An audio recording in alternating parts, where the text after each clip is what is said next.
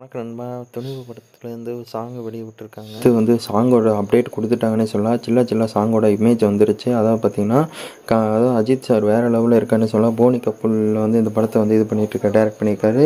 Jio studio தான் இந்த படத்தை வந்து இது பண்ணியிருக்காங்க ப்ரொடியூஸ் பண்ணுறாங்க போனி கப்பூல் தான் வந்து இந்த படத்தை டேரக்ட் பண்ணியிருக்காரு. ஹச் வினோர் டேரக்ஷனில் இந்த படம் உருவாயிட்டிருக்கு துணிவு.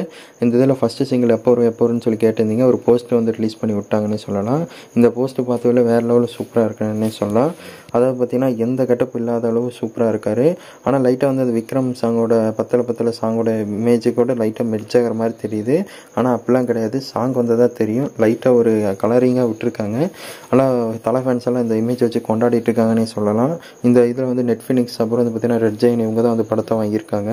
படம் வந்து கண்டிப்பாக வந்து பொங்கலுக்கு ரிலீஸ் பண்ண போகிறாங்க அதாவது துணிவு அப்புறம் வாரிசு ரெண்டுமே சேர்ந்து மோத போகுது. பொறுத்திருந்து பார்க்கலாம் என்னென்ன விஷயங்கள் நடக்குதுன்னு சொல்லி.